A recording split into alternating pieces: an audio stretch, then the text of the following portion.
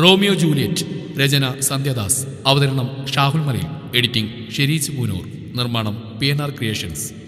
ഡാ ഇന്നാണ് സസ്പെൻഷൻ കഴിഞ്ഞ് ലോകേഷും ശരവണനും വരുന്നത്. സന്ദീപ് പറഞ്ഞു ഇന്ദ്രന്റെ ഗ്യാങ്ങിലെ സ്പൈ വർക്കറാണ് സന്ദീപ്. നമ്മുടെ ഹർഷന്റെ ഗ്യാങ്ങിലെ സൂര്യപ്രകാശിനെ പോലെ. അവന്മാര് വരട്ടടാ അതിന് നിനക്കെന്താ? ഇന്ദ്രൻ കൂളായിട്ട് പറഞ്ഞു ഡാ നിനക്കറിയണ്ടേ ആ ലോകേഷ് ഉണ്ടല്ലോ അവൻ ശരിയല്ല. അവനന്ന് നമ്മുടെ ഡിപ്പാർട്ട്മെന്റിൽ വന്ന് തെറി വിളിച്ചിട്ട് പോയവനാ. അവൻ കൂടി വന്ന മെക്കിലെ പിള്ളേരും മൊത്തം സ്ട്രോങ് ആവും. വിൻസൺ ആയിരുന്നു അത് പറഞ്ഞത്. ഇന്ദ്രന്റെ മറ്റൊരു കുരുത്തം കെട്ട ചങ്കാണ് വിൻസൺ. പെട്ടെന്നായിരുന്നു ഗോപുവും ഭരത്തും ഗണേഷും അവരുടെ ക്ലാസ് റൂമിലേക്ക് വന്നത്. ഡാ ഇന്ദ്ര നിനക്ക് ആൾ സെറ്റായിന്ന് കേട്ടല്ലോ? ഗോപു അവന്റെ തോളിൽ കൈയിട്ടുകൊണ്ട് ചോദിച്ചു. ഇന്ദ്രന് ഇന്ന് അവളെ കാണാത്തതിന്റെ ദേഷ്യത്തിൽ ഇതും കൂടി കേട്ടതോടുകൂടി അവന് ചൊറിഞ്ഞു വന്നു. ആര് പറഞ്ഞു? എന്താടാ നിന്റെ മുഖം ഇങ്ങനെ വല്ലാതിരിക്കുന്നേ? ഭരത് അവനെ മുഖം പിടിച്ചെടുത്തുകൊണ്ട് ചോദിച്ചു. ഒന്നുമില്ലടാ ചെറിയൊരു തലവേദന. ആ തലവേദന എന്താണെന്ന് എനിക്കറിയാം. ഭരത് അവനെ നോക്കി കളിയാക്കിക്കൊണ്ട് പറഞ്ഞു. ഒന്ന് പോടാ. അല്ല നിങ്ങൾ ഇതിനൊപ്പം ഇങ്ങോട്ട് വന്നേ? എനിക്കൊരു ചെറിയ തലവേദന. അതും പറഞ്ഞുകൊണ്ട് ശരവണൻ ക്ലാസ്സിലേക്ക് കയറി വന്നു. എന്താ? നിന്റെ തലവേദനയുടെ കാര്യം? നിന്റെ അതേ കാര്യം തന്നെ. എല്ലാവരും അവനെ സംശയത്തോട് നോക്കി. ദാ നിന്റെ ആളിന്റെ ഫ്രണ്ടിൽ ആ തേജസ്വിനി. അവളെ എങ്ങനെയെങ്കിലും എനിക്കൊന്ന് സെറ്റാക്കി താടാം. അത് കേട്ടതും ഇന്ദ്രന്റെ മുഖം ദേഷ്യം വന്ന് വലിഞ്ഞു മുറുകി. കാരണം അവന് ശരവന്റെ സ്വഭാവം നന്നായിട്ട് അറിയാം. പെൺപിള്ളേരെ ആവശ്യം കഴിഞ്ഞാൽ എടുത്തു വലിച്ചെറിയുന്ന ടൈപ്പാണ് അവൻ. ഒരേ ഡിപ്പാർട്ട്മെന്റ് ആണെങ്കിൽ പോലും ഇന്ദ്രനും ഗ്യാങ്ങുമായി അത്രയ്ക്ക് അടുപ്പമൊന്നുമില്ലാത്ത ആളാണ് ശരവണൻ. അവന് വേറെ ഡിപ്പാർട്ട്മെന്റിലെ കുറെ കൂടുതൽ ടീംസ് ആയിട്ടിരുന്ന കണക്ഷൻ അത്യാവശ്യം നല്ല കാശുള്ള കുടുംബത്തിൽ നിന്ന് വന്ന പയ്യനായതുകൊണ്ട് തന്നെ കള്ളും കഞ്ചാവിനും വേണ്ടി നല്ലപോലെ പൈസ ചിലവാക്കും. എല്ലാം തന്റെ കാൽ കീഴിൽ കൊണ്ടുവന്ന് ശീലിച്ചുകൊണ്ട് തന്നെ അവൻ ആഗ്രഹിച്ചെന്തായാലും ഏത് രീതിയിലായാലും അവൻ നേടിയിരിക്കും. നീ എന്താണ് ഈ പറയുന്നത് അപ്പൊ ശ്രുതിയോ അവളുടെ കാര്യത്ത് നീ വിഷമിക്കണ്ട. അതൊക്കെ ഞാൻ ഒതുക്കി തള്ളിക്കോളാം. അപ്പൊ തേജസ്സിനേക്കാളും നല്ലൊരു പെണ്ണിനെ കിട്ടിയ അവളെ നീ ഒതുക്കി തള്ളും അല്ലേ? ഇന്ദ്രൻ കൈകെട്ടിന്നോട് ചോദിച്ചു. ഓഫ് കോഴ്സ് ജീവിതകാലം മുഴുവൻ ഒരേ പെണ്ണിന്റെ കൂടെ തന്നെ കിടക്കാൻ എനിക്ക് പറ്റൂല. എന്നാലേ നീ ഇത് കേട്ടോ. നീ ഉദ്ദേശിക്കുന്ന പോലുള്ള പെണ്ണല്ല അവൾ. അവൾ ഏത് രീതിയിലുള്ള പെണ്ണാണെങ്കിലും ഈ ഞാൻ വിചാരിച്ച എന്റെ ചൊൽപ്പടിക്ക് നിർത്താൻ എനിക്ക് കഴിയും. നിന്നെ കൊണ്ട് സഹായിക്കാൻ പറ്റൂ ഇല്ലയോ? ഇന്ദ്രൻ പറഞ്ഞ് മുഴുമിപ്പിക്കും മുന്നേ തന്നെ ശരവണൻ ചോദിച്ചു ഇല്ല എനിക്ക് പറ്റില്ല. എന്നെ നീ ഈ കാര്യത്തിന് വേണ്ടി പ്രതീക്ഷിക്കണ്ട. അതെന്താണ് നിനക്ക് അവളോട് ഇത്രയ്ക്ക് താല്പര്യം? അത് ചോദിച്ചാൽ മാത്രമേ അവൻ ഓർമ്മയുള്ളൂ. അടുത്ത സെക്കൻഡ് തന്നെ ഇന്ദ്രന്റെ കാൽ ശരവണന്റെ നെഞ്ചിൽ വന്ന് പതിച്ചു. അവൻ തെറിച്ചു വീണു. എന്നിട്ടും കലിയടങ്ങാതെ ഇന്ദ്രൻ നിലത്തി കിടക്കുന്ന അവന്റെ നെഞ്ചിൽ തലങ്ങും വിലങ്ങും തല്ലാൻ തുടങ്ങി. കൂടെ നിന്നവർക്ക് അവനെ പിടിച്ചു മാറ്റിയപ്പോഴാണ് അവന്റെ ബാക്കി ജീവനങ്ങൾ തിരിച്ചിട്ടിയത് തങ്ങളുടെ ഡിപ്പാർട്ട്മെന്റിന്റെ മാനങ്ങളയനായി വന്നവനായിട്ടാണ് ഇന്ദ്രനും ഗ്യാങ്ങും ശരവണനെ കണ്ടിരുന്നത്. ഇതുപോലെ തന്നെ എല്ലായ്പ്പോഴും ആരുടെയെങ്കിലും കയ്യിൽ നിന്നൊക്കെ തല്ലുവാങ്ങി കൂട്ടാനേ ഇവന് സമയമുള്ളൂ. അത് വേറൊന്നും കൊണ്ടല്ല. ഇവന്റെ പിഴച്ച നാവ് കൊണ്ട് തന്നെ. അന്ന് ടീച്ചർ അനാവശ്യം പറഞ്ഞതിന് ഹർഷന്റെ കയ്യിൽ നിന്ന് തല്ലുവാങ്ങിയത് ഇവനാ. ഓർമ്മയുണ്ടല്ലോ. സോ നമ്മുടെ ഈ കൗരവരും പാണ്ഡവരെയും കുറിച്ച് പറയുകയാണെങ്കിൽ അതിൽ സ്പൈ ആയിട്ടുള്ള രണ്ടുപേരെ ഓർമ്മയുണ്ടല്ലോ. സൂര്യയും സന്ദീപും. ഇവരാണ് വാക്ക് തർക്കത്തിനിടയ്ക്ക് ചാടിക്കേറി തല്ലി തുടങ്ങി വെക്കുന്നത്. പിന്നെ പ്രിൻസി വന്ന് എല്ലാറ്റിനെയും പിടിച്ച് സസ്പെൻഷൻ കൊടുക്കുമ്പോഴേക്കും ആദ്യം തല്ലി തുടങ്ങി വെച്ചവർ ഈ ജില്ല വിട്ട് തന്നെ എസ്കേപ്പ് ആയിട്ടുണ്ടാവും. മാത്രമല്ല ഇവർ പരസ്പരം ഓരോരുത്തരെയും ടാർഗറ്റ് ചെയ്തുകൊണ്ടാണ് തല്ലൂടുന്നത് ഓരോരുത്തർക്കും ഓരോ പേര് പോലെ. For the example Surya Sandeep Harshan Indran Bharath Hari Samuel Vinson Christy Ganesh Lokesh Gopakumar. Lokesh Saravana തള്ളാൻ കിട്ടുന്ന ചാൻസ് ഒട്ടും മിസ്സാക്കില്ല പിന്നെ അവരുടെ ഗ്യാങ്ങിലെ മറ്റുള്ളവരും ഇതുപോലെ പെയറായിട്ട് തല്ലുകൂടും. അവസാനം വഴക്ക് മുൾമുന്നിൽ എത്തുമ്പോഴാണ് എതിരാളികളെ എല്ലാവരെയും ഒരുപോലെ ഇട്ട് തല്ലുന്നത്. ഇന്നലെ നോട്ട് സബ്മിറ്റ് ചെയ്യാത്തതിന് ടീച്ചറുടെ കയ്യിൽ നിന്ന് പണിഷ്മെന്റ് കിട്ടി ലൈബ്രറിയിൽ വന്നിരിക്കുകയും തേജു. അവരുടെ കൂടെ തന്നെ പൂജയും തനുവും വന്നിരുന്നു. അവരും കൂടി ക്ലാസ്സിൽ നിന്ന് ഇറങ്ങിയതോടുകൂടി ശരത്തും വിക്കിയും ബഹളം വെച്ച് അവരെയും ഗെറ്റ് ഔട്ട് അടിച്ചു ഫണ്ടമെന്റൽസ് ഓഫ് മൈക്രോബയോളജി ആയിരുന്നു അവൾക്ക് എഴുതാൻ കൊടുത്ത പണിഷ്മെന്റ് ഗൈഡ് നോക്കി എഴുതാൻ വേണ്ടി ലൈബ്രറി വന്നിരിക്കുകയായിരുന്നു തേജുവും ഗ്യാങ്ങും. കുറെ നേരം എഴുതിക്കൊണ്ടിരുന്നതുകൊണ്ട് തന്നെ രാവിലത്തെ ഇന്റർവ്യൂ ആയതുപോലും അവൾക്ക് അറിഞ്ഞില്ല. ഡീ ഞങ്ങൾ ക്യാനീ പോവാ. നീ വരുന്നുണ്ടോ? ഞാനിത് എഴുതി കഴിഞ്ഞിട്ട് വരും. നിങ്ങൾ പൊക്കോ. അവൾക്ക് വരാനുള്ള ഉദ്ദേശമില്ലെന്ന് കണ്ടതോടുകൂടി അവർ നാലുപേരും ഇവളെ തനിച്ചാ ക്യാന്റീനിലേക്ക് പോയി. അപ്പോഴേക്കും അർഷനും ഗ്യാങ്ങും ലൈബ്രറിയിൽ വന്ന് തേജുവിന്റെ ഓപ്പോസിറ്റായി വന്നിരുന്നു. അവർക്ക് എന്തിനോ പണിഷ്മെന്റ് കിട്ടിയിട്ട് വന്നതായിരുന്നു. പക്ഷേ തേജു അവനെ കണ്ടില്ല. എന്നാൽ ഹർഷൻ അവളെ കണ്ടു. പെട്ടെന്നായിരുന്നു റേഡിയോയിൽ നിന്നും തേജുവിന് ശരവണം കൊടുത്ത ലവ് ലെറ്റർ വായിക്കാൻ തുടങ്ങിയത്. അവൾ പെട്ടെന്ന് എഴുത്ത് നിർത്തിയത് ശ്രദ്ധിച്ചു. മൈ ഡിയർ തേജു കുറെ എന്തൊക്കെയോ സാഹിത്യം എഴുതി പിടിപ്പിച്ചിട്ടുണ്ടായിരുന്നു. അതൊന്നും തന്നെ അവളുടെ തലയിൽ കയറിയില്ല. അവസാനം I am ready to become a Romeo you wanna be my Juliet ആ വാക്കേട്ടതും ഹർഷനെ ചിരിക്കാൻ തുടങ്ങി. അവന്റെ സൗണ്ട് കേട്ടപ്പോഴാണ് അവൾ അവനെ ശ്രദ്ധിച്ചത്. എന്താണ് ഹർഷ? ഇങ്ങനെ ചിരിക്കുന്നേ? അവന്റെ ചിരി കണ്ട് ക്രിസ്റ്റി ചോദിച്ചു. ഏയ് ഒന്നുമില്ലടോ. പക്ഷെ അവന്റെ ചിരിയുടെ അർത്ഥം തേജുവിന് മനസ്സിലായി. അത് എന്നെ ഉദ്ദേശിച്ചാണ് എന്നെ തന്നെ ഉദ്ദേശിച്ചാണ് എന്നെ മാത്രം ഉദ്ദേശിച്ചാണ് അവൾ അവനെ നോക്കി മനസ്സിൽ പറഞ്ഞു. അതേടി നിന്നെ തന്നെ ഉദ്ദേശിച്ച് നീ എന്ത് ചെയ്യും? അവളുടെ മനസ്സ് വായിച്ചെടുത്ത പോലെ അവൾ നോക്കി പുച്ഛത്തോടെ അവൻ മനസ്സിൽ പറഞ്ഞു. ഡാ ഹിറ്റ്ലറെ ഇതിനുള്ളൊക്കെ വൈകാതെ നിനക്ക് കിട്ടും. എന്നാ ഞാൻ രണ്ട് കൈ നീട്ടി സ്വീകരിക്കും. കണ്ണും കണ്ണും നോക്കി മൂന്നാം ലോകമഹായുദ്ധം നടത്തിക്കൊണ്ടിരിക്കുമ്പോഴായിരുന്നു പിന്നെയും റേഡിയോയിൽ നിന്ന് അനൗൺസ്മെന്റ് കേട്ടത്. So Saravanan dedicate the song to Teju എന്ന് പറഞ്ഞ് പാട്ട് പ്ലേ ചെയ്തു. ഒറ്റൈ കണ്ണാലെ ഉന്നൈ പാർത്തേണ്ടി. വെറുതെ അല്ല ഒറ്റ കണ്ണുകൊണ്ട് നോക്കിയാൽ പലരെയും ജൂലിയറ്റായിട്ടൊക്കെ തോന്നും. അതിന് തനിക്ക് വല്ല നഷ്ടമുണ്ടോ എനിക്കെന്ത് നഷ്ടം? നിന്നെ കെട്ടാൻ പോണവന്റെ കാര്യം ഓർത്തിട്ടാ സങ്കടം തോന്നുന്നു. താൻ എന്തിനാണോ എന്റെ കെട്ടിനെ കുറിച്ച് ആലോചിച്ച് ബി പി കൂട്ടുന്നത് ആദ്യം തന്നെ കെട്ടാൻ പോണ പെണ്ണിന്റെ കാര്യം ആലോചിക്ക്. ഈശ്വര അവളുടെ ഒരു കഷ്ടകാലം. അതെ നിങ്ങളുടെ ഈ മൂന്നാം ലോക മഹായുദ്ധം കഴിഞ്ഞെങ്കിൽ ക്ലാസ്സിലേക്ക് പോവായിരുന്നു. പരസ്പരം നോക്കി ഭരണിപ്പാട്ട് പാടുന്ന തേജുവിനെ ഹർഷനെ നോക്കി സാം പറഞ്ഞു. അത് കേട്ടപ്പോഴാണ് രണ്ടെണ്ണത്തിനും ബൾബ് എത്തിയത് അവൾ ഹർഷനെ ഒന്ന് പുച്ഛത്തോടെ നോക്കിക്കൊണ്ട് ബുക്ക് എടുത്ത് അവിടുന്ന് പോയി. ഡി എഴുതി കഴിഞ്ഞോ? ക്ലാസ്സിലേക്ക് വന്ന് പൂജ ചോദിച്ചു. ആ കഴിഞ്ഞടി. നിന്റെ ടാഗ് എവിടെ? വിക്കിയായിരുന്നു ചോദിച്ചത്. അവൾ പെട്ടെന്ന് ടാഗിലേക്ക് നോക്കി. അതിന്റെ ചരട് മാത്രമേ ഉള്ളൂ. അയ്യോ ടാഗ് എവിടെ?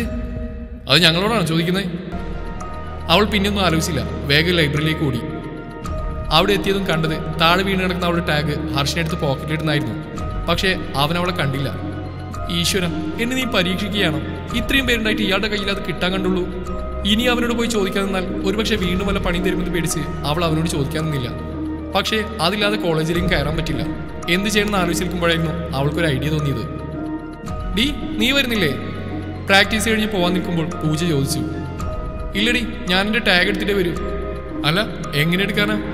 അവർ കളിക്കുന്ന സമയം നോക്കി ആ ഒരു ഡ്രസ്സിംഗ് റൂമിൽ കയറി ഹർഷേട്ടൻ മാറ്റി വെച്ച ഡ്രസ്സിൽ നിന്നും എന്റെ ടാഗ് എടുത്തിട്ടിങ്ങ് പോരുക. അത്രേ ഉള്ളൂ. നിനക്കെന്താ വട്ടാണോ പെണ്ണെ? താനുവിന് അവിടെ സംസാരം കേട്ടിട്ട് ചൊറിഞ്ഞുകൊണ്ട് വന്നു. എന്താണ് ഇങ്ങനെ പറയുന്നേ? നിനക്ക് അയാളോട് പോയി ചോദിച്ചാൽ പോരെ. ഓഹ് ഒരിക്കൽ ചോദിച്ചതിന്റെ ക്ഷീണം ഇനി മാറിയിട്ടില്ല. നിനക്കറിയാവുന്നല്ലേ അയാളുടെ സ്വഭാവം? എടി എന്നാലും അവിടെ മൊത്തം ആൺപിള്ളേരായിരിക്കും. നീ അവിടെ പോണെന്തോ എനിക്കത്ര ശരിയായി തോന്നുന്നില്ല. അതെടി താന് പറഞ്ഞു ശരിയാ. പൂജയും പറഞ്ഞു. ആരെന്ത് പറഞ്ഞാലും ഞാനത് എടുത്തിട്ടേ വരൂ. തേജു ഉറച്ച തീരുമാനത്തിൽ നിന്നു.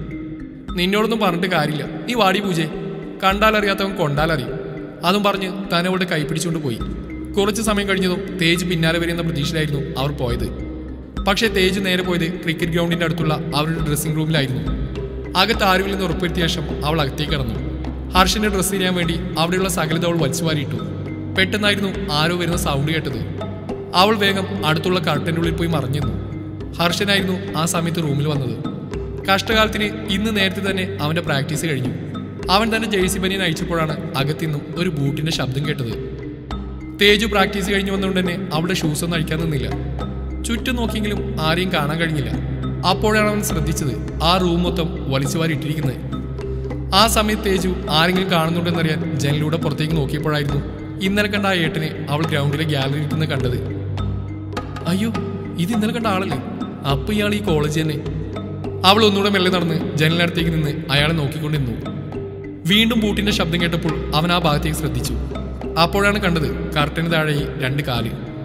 ഇന്ന് ശരവണൻ സസ്പെൻഷൻ കഴിഞ്ഞ് വന്നുകൊണ്ട് തന്നെ അവൻ ഇനി വേറെ വല്ല പ്രശ്നം ഉണ്ടാക്കാമെന്നായിരിക്കുമെന്ന് ഹർഷൻ ഊഹിച്ചു. അവൻ ശബ്ദം ഉണ്ടാക്കാതെ മേളിൽ തിരിഞ്ഞ് കയ്യിൽ കിട്ടിയ സ്റ്റെമ്പ് എടുത്തു. തേജ് അപ്പോഴും നമ്മുടെ ജിന്നിയേട്ടനെ വായി നോക്കുന്ന തിരക്കിലായിരുന്നു. അവൾ വന്ന കാര്യം തന്നെ മറന്നു. ആണാണെങ്കിൽ ആണാണെങ്കി ഒളിഞ്ഞിക്കാതെ നേർക്ക് നേരെ വന്ന് തല്ലടാ! ഞാൻ അടിച്ചാ താങ്കമാട്ടെ എന്ന പാട്ട് മനസ്സിൽ വിചാരിച്ച് ദളപതിയുടെ ഒരു മാസ ഡയലോഗും പറഞ്ഞ് ആ സ്റ്റെമ്പ് കൊണ്ട് കർട്ടന്റെ ഉള്ളിൽ നിൽക്കുന്ന ആളെ ഒറ്റ അടി ഈശ്വര പെണ്ണിന്റെ സൗണ്ട് ടോം ആൻഡ് ജെറിയിലെ ടോമിന്റെ തലയിൽ ചുറ്റിയ കൊണ്ട് തള്ളിയിട്ട് വടിയായ പോലെ നമ്മുടെ തേജുവിന്റെ തലയുടെ കാര്യത്തിലും ഒരു തീരുമാനമായി. അവളുടെ തലയിലൂടെ പൊന്നീച്ചകൾ പാറിക്കളിക്കാൻ തുടങ്ങി. ഒരു പഴന്തുണി പോലെ കർട്ടന്റെ ഉള്ളിൽ നിന്നും മലർക്കിനെ അവൾ ഹർഷന്റെ മേലേക്ക് വീണു. അയ്യോ തേജു. ആരോ തന്നെ തേജു എന്ന് വിളിച്ചും താങ്ങി പിടിച്ചും മാത്രമേ അവൾക്ക് ഓർമ്മയുള്ളൂ. എന്തായാലും ഈ തല്ലുകൊണ്ട് ഒരു ഉപകാരം ഉണ്ടായി ഭൂമി ഉരുണ്ടതാണെന്ന സത്യം അവൾ തിരിച്ചറിഞ്ഞു. പതിയെ പതിയെ അവളുടെ ബോധം പോയി. തേജു എണീക്ക്. എടി എണീക്കാൻ അവൻ മുട്ടുത്തിരുന്നുകൊണ്ട് അവളുടെ മുഖത്തട്ടി വിളിച്ചു. ആര് കേൾക്കാൻ? ഇതിനിടയിൽ അവളുടെ ശബ്ദം കേട്ടതും റൂമിന് പുറത്ത് നിൽക്കുന്ന സാമും ക്രിസ്റ്റിയും സൂര്യയും ഹരിയും ലോകേഷും ഒക്കെ ഓടിക്കി വെച്ചുകൊണ്ട് വന്നു. എന്താണ് കാര്യം? അതും പറഞ്ഞ് സാമു നോക്കുമ്പോൾ കണ്ടത് ഹർഷന്റെ മഴ തലവെച്ചെടുക്കുന്ന തേജുവിനെയാണ്. എല്ലാവരും ഹർഷനെയും തേജുവിനെയും മാറി മാറി നോക്കി. എന്താണ് സംഭവിച്ചത് ഇവളെങ്ങനെ ഇവിടെ വന്നു? ലോകേഷ് ഓടി വന്ന് അവിടെ മുഖത്ത് വെള്ളം തളിച്ചുകൊണ്ട് ചോദിച്ചു. അറിയില്ലടാ. ഹർഷനാകെ പേടിച്ച് വിറക്കുന്നുണ്ടായിരുന്നു. അവളുടെ മുഖത്ത് ഒരുപാട് തവണ വെള്ളം തെറിപ്പിച്ചെങ്കിലും അവൾ കണ്ണുറന്നില്ല അത് കണ്ടതോടുകൂടി എല്ലാവരുടെയും മനസ്സിലൊരു പേടി നിറഞ്ഞു. പ്രത്യേകിച്ച് ഹർഷന്റെ. അവൻ തന്നെ ചൂണ്ടുവിരൽ കൊണ്ട് അവളുടെ മൂക്കിനടുത്തേക്ക് വെച്ച് ശ്വാസമുണ്ടോ നോക്കി. ഹാവു ജീവനുണ്ട്. നീ ഇതെന്തൊക്കെ ഈ പറയുന്നത് സത്യം പറ ഇവൾക്ക് എന്താ സംഭവിച്ചേ? നിന്റെ ഷർട്ട് എവിടെ? നീ ഇവളെ എന്ത് ചെയ്തു? ഓരോരുത്തരും അവരുടെ വക ഓരോ ചോദ്യം ചോദിച്ച് അവനെ കൊന്നു. ഓഹ് ഒന്ന് നിർത്തുന്നുണ്ടോ? നിങ്ങൾ വിചാരിക്കുന്ന പോലെ ഞാൻ ഇവളൊന്നും ചെയ്തില്ല. പിന്നെ ഇതിന്റെയൊക്കെ അർത്ഥം എന്താടാ? ക്രിസ്റ്റി അവനോട് ചൂടായി. ഡാ റൂമിൽ കയറിയപ്പോ ആരോ കർട്ടന്റെ പിന്നിൽ ഒളിഞ്ഞു നിൽക്കുന്ന പോലെ തോന്നി. ആ ശരവണ്ണ അരിക്കുന്ന കരുതി ഞാൻ ദേ ആ കാണുന്ന സ്റ്റെമ്പ് കൊണ്ടും തലക്കടിച്ചു. ഇതൊക്കെ കേട്ടുന്നവരുടെ കിളിപോയെന്ന് മാത്രമല്ല ഹർഷനെ തള്ളിക്കൊല്ലാനുള്ള ദേഷ്യം വന്നു. ഡാ ആരെങ്കിലും അകത്ത് കയറിയെങ്കിൽ അത് ആരാ നമുക്ക് ചോദിച്ചിട്ട് വേണം തല്ലാൻ. സൂര്യ എന്തോ വലിയ കണ്ടുപിടുത്തം നടത്തിയ പോലെ പറഞ്ഞു. പിന്നെ നമ്മളെ തല്ലാൻ വരുന്നവരോട് പേരും അഡ്രസ്സും ഒക്കെ ചോദിച്ചിട്ടല്ലേ തല്ലേണ്ടത്? നിനക്കൊരു മാറ്റവും ഇല്ലല്ലോടാ. ഹർഷൻ തലയിൽ കവിച്ചുകൊണ്ട് പറഞ്ഞു. മതി നിർത്തിക്കോ നിന്റെ ഈ സംസാരം. തല്ലുന്നൊക്കെ പോട്ടെ. ആ കാർട്ടൺ ഒന്ന് മാറ്റിയിട്ട് തല്ലാൻ പോയതാണെങ്കിൽ ഇവൾക്ക് ഈ ഗതി വരില്ലായിരുന്നു. അവന്റെ ഒരു ഹീറോയിസം എന്താ ഇനി കുറ്റം പറഞ്ഞിട്ട് കാര്യമില്ല. അടുത്ത എന്താ? ഹർഷൻ എല്ലാവരെയും നോക്കിയോട് ചോദിച്ചു. വേറെ ആരെങ്കിലും കാണുന്നതിന് മുമ്പ് ഇവളെ ഹോസ്പിറ്റലിൽ കൊണ്ടുപോകണം. അടി നല്ല ആഴത്തിൽ കൊണ്ടുവന്നാ തോന്നണേ. ലോകേഷ് ഹർഷനെ ഒന്ന് പാളി നോക്കിയിട്ട് പറഞ്ഞു. ദാ അത് വേണ്ട. അവിടെ കൊണ്ടുപോയി ഒരുപാട് ഫോർമാലിറ്റീസ് ഒക്കെ ചെയ്യേണ്ടി വരും. പിന്നെ എല്ലാവരും ഈ കാര്യം അറിയും. നമുക്ക് ഇവിടെ സുവർണയുടെ വീട്ടിലേക്ക് കൊണ്ടുപോകാം. അവിടെ ആണെങ്കിൽ ഡോക്ടർ അല്ലേ? സാം പറഞ്ഞു കേട്ട് എല്ലാവരും ശരിവെച്ചു. പിന്നെ ഒന്നും ആലോചിച്ചില്ല. അവളെയും പൊക്കി നേരെ വിട്ടു സുവർണയുടെ വീട്ടിലേക്ക്. അവിടേക്കാണെന്ന് അറിഞ്ഞതും അവിടെ വന്നാൽ വായ്ക്ക് രുചിയായി വല്ലതൊക്കെ കിട്ടൂലെന്ന പ്രതീക്ഷയിൽ ബാക്കിയുള്ള വാനന്മാരും ഇവരോടൊപ്പം കൂടി. സാമൂലിന്റെ ലവറാണ് ഫൈനൽ സിവിൽ ഡിപ്പാർട്ട്മെന്റിലുള്ള സുവർണ. കണ്ണൂരുകാരിയായ പുള്ളിക്കാരി അവളുടെ അങ്കിളിന്റെ വീട്ടിൽ നിന്നാണ് കോളേജിലേക്ക് വരുന്നത്. കോളേജിൽ നിന്ന് എട്ടുപത് കിലോമീറ്റർ ഉണ്ടാവും. അവരുടെ വീട് അർഷന്റെയും ഗ്യാങ്ങിന്റെയും സുഖവാസ കേന്ദ്രം എന്ന് വേണമെങ്കിൽ പറയാം. ഹോസ്റ്റലിലെ മസാല വെള്ളവും ഐ മീൻ അവിടുത്തെ സാമ്പാർ പിള്ളേര് അതിനെ മസാല വെള്ളം എന്നാണ് പറയുന്നത് കേട്ടോ? ചോറും തിന്നു നിന്ന് നാവ് ചാവാറാവുമ്പോൾ എല്ലാവരും കൂടി പെട്ടിയും കിടക്കായിട്ട് ഇങ്ങോട്ട് വരും. മക്കളില്ലാത്ത രഘുറാമിനും ശൈലജയ്ക്കും ഇവരൊക്കെയാണ് ഒരു ആശ്വാസം. എല്ലാവരും വന്നാൽ പിന്നെ ഒരാഴ്ച അവിടെ ഇരുന്ന് അടിച്ചു പൊളിച്ച് ആ വീടിനെ തലകീഴായി മറിച്ചിട്ടേ പോകൂ സാമിനൊഴിച്ച് ബാക്കി എല്ലാവരും സുവർണയെ ഒരു കൂടപ്പിറപ്പ് പോലെ തന്നെയാണ് കണ്ടിരുന്നത്. സത്യം പറഞ്ഞാൽ ആ കോളേജിലെ ഹർഷൻ ഒന്ന് ഫ്രീ ആയിട്ട് സംസാരിക്കുന്ന ഏക പെൺകുട്ടിയാണ് സുവർണ. അവളുടെ കാര്യവും മറിച്ചായിരുന്നില്ല. അച്ഛനും അമ്മയ്ക്ക് ഒറ്റമോളായതുകൊണ്ട് തന്നെ ആങ്ങളമാരില്ലാത്ത സങ്കടം തീർത്ത് ഇവരെയൊക്കെ കിട്ടിയപ്പോഴാണ്. ശരീരമാകെ തളർന്ന പോലെ തോന്നിയ അവൾക്ക്. തലക്ക് വല്ലാത്ത കനം. കണ്ണ് തുറക്കണമെന്നുണ്ട് പക്ഷെ പറ്റുന്നില്ല. എന്നാൽ ആ റൂമിലെ ഫാൻ ഓടുന്ന ശബ്ദം അവൾ കേൾക്കാൻ കഴിയുന്നുണ്ട്. ആരെങ്കിലും ഒന്ന് അടുത്തേക്ക് വിളിക്കണം തോന്നി പക്ഷേ ശബ്ദം പോലും പുറത്തു വന്നില്ല. എന്തോ വല്ലാത്തൊരവസ്ഥ. എന്നാലും അവൾ തന്റെ അടഞ്ഞു കിടക്കുന്ന കണ്ണിനെ പതിയെ വലിച്ചു തുറന്നു. ആദ്യം എല്ലാം മങ്ങിയാണ് കണ്ടെങ്കിലും പതിയെ പതിയെ എല്ലാം തെളിഞ്ഞു കാണാൻ തുടങ്ങി. റൂം മുഴുവൻ ഇരുട്ടായിരുന്നു. എന്നാലും ടേബിൾ ലാമ്പിന്റെ ചെറിയ വെളിച്ചത്തിൽ അവൾക്ക് കുറച്ചൊക്കെ കാണാൻ കഴിഞ്ഞു. ആദ്യം കണ്ടത് മുകളിലുള്ള സീലിംഗ് ഫാനായിരുന്നു പിന്നെ നോക്കിയപ്പോൾ ചുമരിലൊരു വാച്ച്. അത് നോക്കുമ്പോൾ സമയം രാത്രി പന്ത്രണ്ട് മണി. പന്ത്രണ്ട് മണിയോ? അപ്പൊ ഞാൻ എവിടെയാ തുടരും. ഈ കഥയുടെ ബാക്കി ഭാഗം നാളെ ഇതേ സമയം.